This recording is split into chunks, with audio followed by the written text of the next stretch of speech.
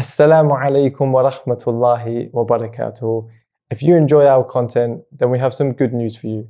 You can now download and listen to all of our lectures offline by heading to one of the popular podcast apps. We're available on the iPhone podcast app, Stitcher, as well as Spotify. And all you have to do is search for Al Madrasatu Al Umariyyah. Head over there now and take advantage of being able to listen to us whilst on the move. Enjoy.